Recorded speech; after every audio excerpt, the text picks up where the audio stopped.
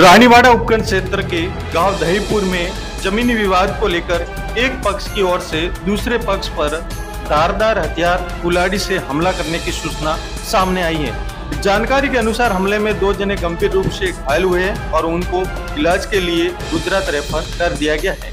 Raniwara police द्वारा युवक को हथियार से दस्तियाब कर दिया गया है। जानकारी के अनुसार बुधवार शाम को दहीपुर गाँव में भगराज पुत्र मोतीराम चौधरी की रहवासी ढाणी में दहीपुर निवासी नरपत सिंह पुत्र भवर सिंह देवड़ा ने अनागरित रूप से प्रवेश कर कुलाड़ी से भगराज चौधरी व उसकी पत्नी राधा देवी पर हमला कर दिया नरपत सिंह के कुलाड़ी हमले से भगराज व उनकी पत्नी राधा देवी गंभीर रूप से घायल हुए ग्रामीणों के सहयोग से घायल पति पत्नी को रानीवाड़ा सामुदायिक स्वास्थ्य केंद्र पर भर्ती करवाया गया प्राथमिक इलाज के बाद में हालात नाजुक होने के बाद में चिकित्सकों ने हायर ट्रीटमेंट के लिए उन्हें गुजरात रेफर कर दिया गया है।